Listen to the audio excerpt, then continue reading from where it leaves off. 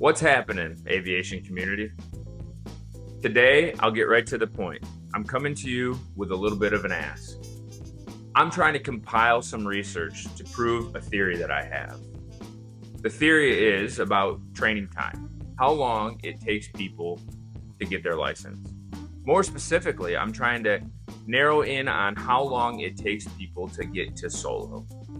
I've seen a couple posts lately throughout, throughout social media where people talk about their solo and I see numbers like 40 or 50 hours, stuff like that, and it just blows my mind. Now, I can't say what's right or wrong or how the training world works, but I would love to compile some information to try and understand it better. So, if you could, and I'll explain the details here in a minute why, but if you could, in the comments below, give me a little bit of information. Tell me what year you soloed, what airport you soloed from, how many hours it took you to solo, and what type of aircraft you were in. One other piece of information that I think would be helpful if you know it is how many instructors you had during your time.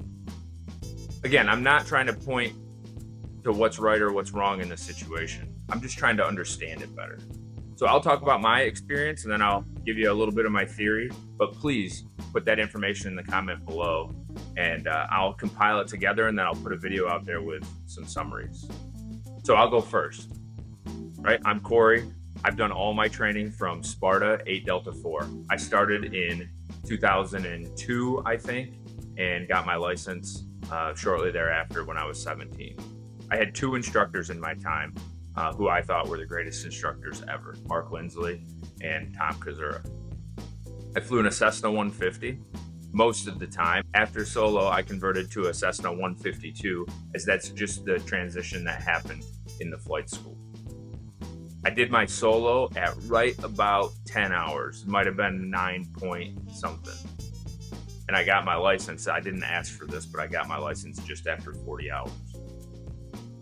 I felt like that was kind of normal back then, right? 40 to 50 hours to get your license.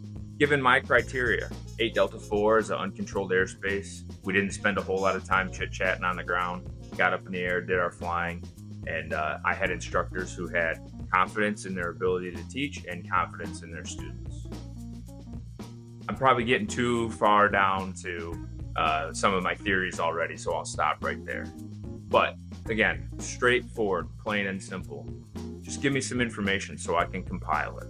I don't need your name or anything like that, right? Um, if you feel like there's more information you want to give, like maybe the age you were when you started training, anything of that nature, that'd be awesome too. But really, all I'm doing is trying to compile this base information and understand the variables that are really driving training time. Unfortunately, we all know aviation is not a hobby that's inexpensive. And professional aviation takes the same cost or much more cost than it does to just fly for fun. So, for us to foster aviation growth and the continuing of uh, great uh, this great hobby, we have to be able to control the cost somehow. And training costs are a way to potentially do that. So again, I'm just trying to understand. Maybe put a little bit of a package together for people where I can recommend how to go about training if you're just trying to do it as a hobby.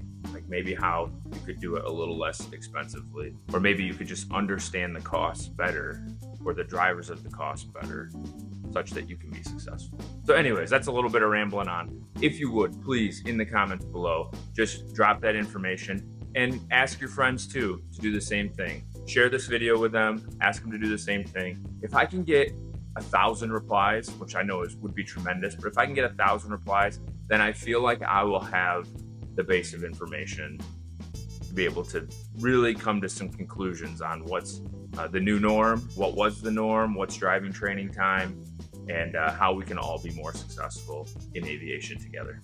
Again, I'm just talking about solo, and if you want to give me time to your private, that's fine too. Uh, but keep it simple. Thanks for being here, and we'll see you all real soon.